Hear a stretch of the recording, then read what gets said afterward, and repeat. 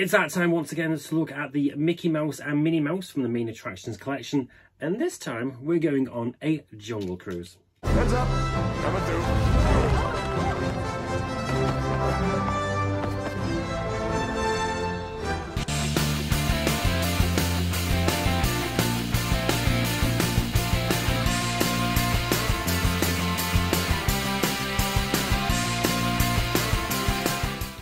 Jungle Cruise, or if you ride the attraction at Christmas, Jingle Cruise, is one of the most popular attractions within Magic Kingdom in Disney World. And that is the reason why both Mickey Mouse and Minnie Mouse are getting the Jungle Cruise treatment. And in this video though, we are going to be looking solely at Minnie Mouse. Oh my gosh. Okay, so here is Minnie Mouse, um, based around the Jungle Cruise. Um, number 11 out of 12, because there's the official Disney Minnie Mouse, the main attractions logo on her left foot. And show you the tag, which is always different with Minnie Mouse in this collection. Always suited to the actual doll itself. And we've actually got a bit of the Jungle Cruise itself. There's the boat, some hippos, some wildlife in the background, elephants, giraffes. A nice little tag, really. And we've actually got um, the tag actually says, Voyage by tramp steamer down several major rivers of Asia, Africa and South America on the Jungle Cruise. This Adventureland attraction opened on July 17th, 1955 in the Disneyland Park.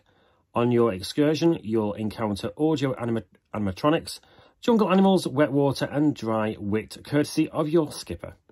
Which is just basically like the movie really. Um, Dwayne The Rock Johnson and his um, iconic wit. Working in an orange juice factory, but I got canned. Couldn't concentrate. Yeah, they put the squeeze on me too.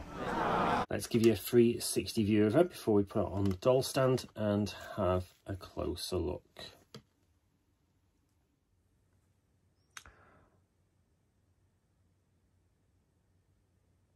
So just like the rest of the Minnie Mouse in the main attractions collection, she stands roughly about 13 to 14 inches in height.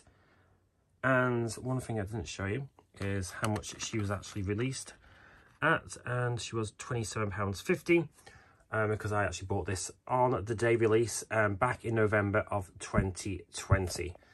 So now let's start off with the head um, and this hat. Now I just don't like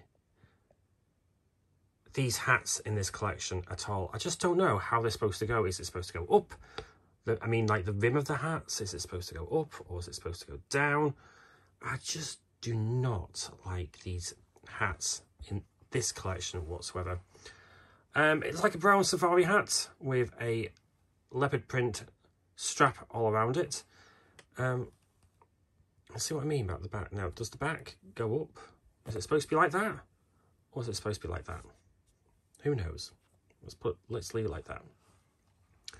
And at the top there, we've got some uh, fabric leaves with a, and that is supposed to be an elephant, is it?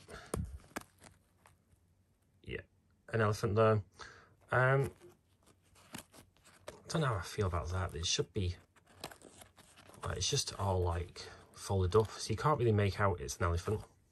Then we come down to her head and her face, um, basically white and greens. It's a very dark, kind of like woody green um, that she has on her head and ears. And of course her nose. Come down to her body and her outfit. We've got this Safari Explorer brown jacket with two pockets there, just like sewn in. Um, around her midriff, we've got a leopard print band and this white and red like circus tent kind of like style um, dress stroke skirt. And we got? Just yeah nothing underneath sorry Minnie.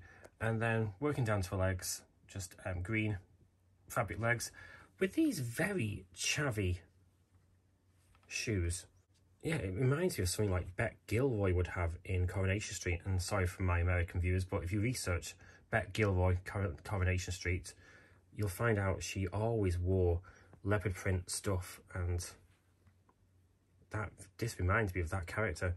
Or Mel B from the Spice Girls.